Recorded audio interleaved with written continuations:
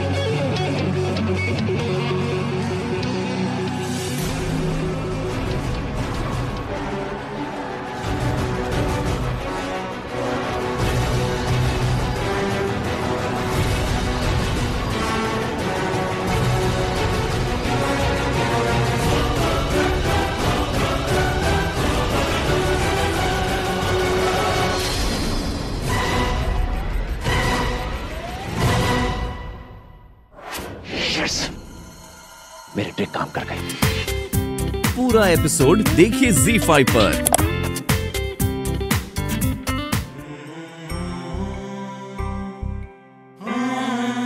दादी दादी अब ठीक तो ना? दादी दादी रिलैक्स दादी मैं हूँ ना। प्रज्ञा को घर लेके आ बेटा।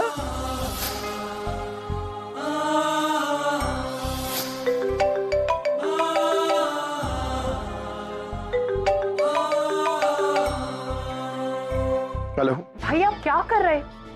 ऐसे बीच रोड के कॉन्सर्ट्स करते हैं क्या?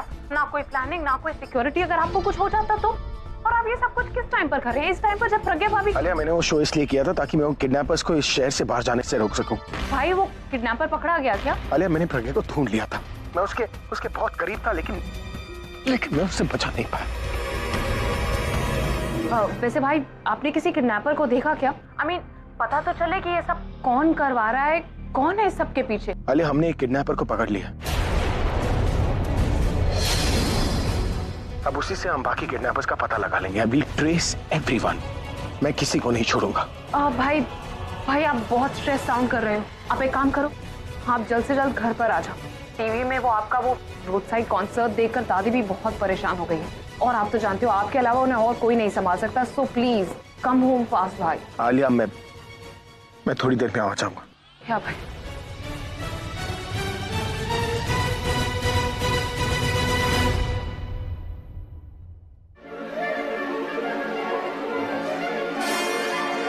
भागने की कितनी भी कोशिश कर मेरे पति से बच नहीं पाओगी।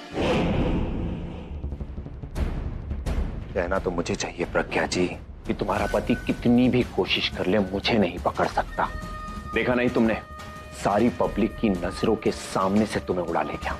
और वो कुछ नहीं कर पाया। वैसे एक बात बताएँ। बहुत बड़ा फ़ैन हूँ मैं उसका। क्या गाता है यहाँ कमाल। पर सिर्फ़ उसकी आवाज़ अच्छी है। दिमाग नहीं। क्या लगता है तुम तुम मुझे उनसे दूर ले आए? तुम नहीं जानते। पल पल मेरे करीब आ रहे और एक बार उन्होंने मुझे ढूंढ लिया ना फिर उनसे बचने के लिए ना तो तुम्हारा दिमाग चलेगा न भागने के लिए पाँव अच्छा तुम्हें लगता है वो तुम्हें बचाने आएगा? कमाल की बात है ना प्रज्ञा जी। ये प्यार भी अजीब चीज़ है हाँ। इंसान को समझ ही नहीं आता क्या सही है। और क्या गलत?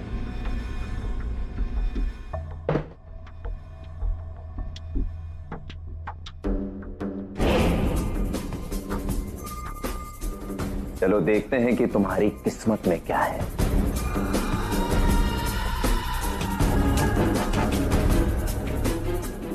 ये है तुम्हारी किस्मत। ये बताएगा कि तुम्हारा पति तुमसे प्यार करता भी है या नहीं। अगर है जाया तो वो तुम्हें लेने आएगा। और अगर टेल्स कभी नहीं।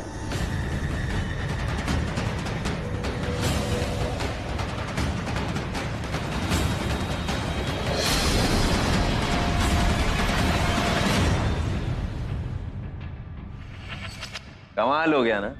इसे भी पता है कि तुम्हारा पति तुमसे बिल्कुल प्यार नहीं करता। जानती हो कि उसके नहीं आने की सबसे बड़ी वजह क्या है तो क्या? तुम।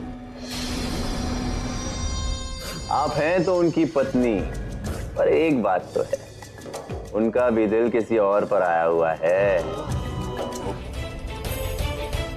वो मुझे नहीं मिली।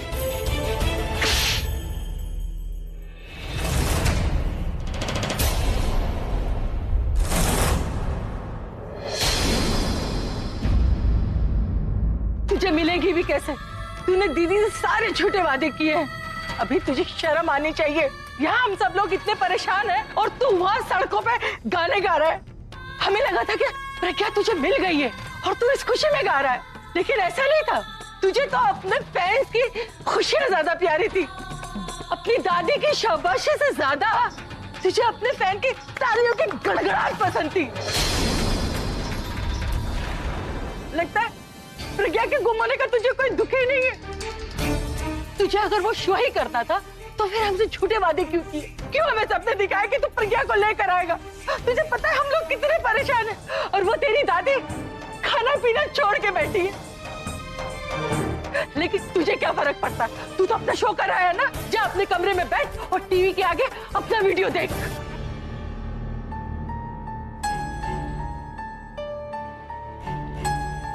ये क्या किया आपने दादी?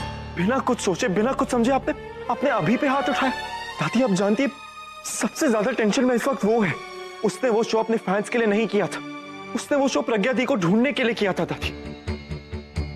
पुलिस ने कहा था कि, कि किडनैपर्स प्रज्ञा दी को लेकर शहर से बाहर जा रहे एक्स्ट्रा फोर्स को आने के लिए भी एक घंटा था। उसने बिना कुछ सोचे वहाँ सबके सामने कॉन्सर्ट किया ताकि वो रोड ब्लॉक हो जाए ताकि पुलिस प्रज्ञा दी को ढूंढ सके।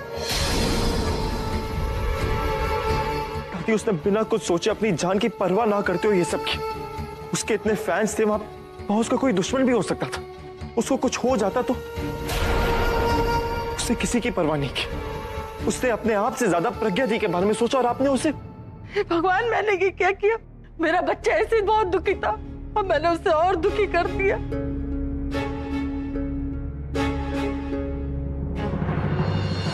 क्या किया है मैंने? कुछ भी तो नहीं। दासी ने बिल्कुल ठीक किया मैं इसी के लायक हूँ। नहीं जीजू प्लीज़ ऐसा मत बोलिए। इनफैक्ट जो आपने दी के लिए किया है वो वो कोई और कर ही नहीं सकता था। तो फिर तो फिर प्रज्ञा मेरे साथ क्यों नहीं? क्यों मेरी फैमिली मुझसे नाराज़ है? क्यों मैं अपना दिया हुआ वादा पूरा नहीं कर पाया? बुलबुल अगर कोशिश करने से कामयाबी मिलती है ना तो फिर मैंने कोशिश भी नहीं की और सारी गलती मेरी है। मैंने ही वहाँ पर मेरे फैंस को जमा किया। वो मेरे फैंस जो मेरी सबसे बड़ी ताकत हुआ करती थी मेरी सबसे बड़ी कमज़ोरी बन गई। उन्हीं की वजह से मैंने प्रज्ञा को ढूंढा और उन्हीं की वजह से मैंने उसे खो दिया। लो वो चश्मिश गई तो अभी बुलबुल आ गई। मतलब मुझे मेरे अभी के साथ कोई रहने ही नहीं देता। अब फिर से वेट करना होगा।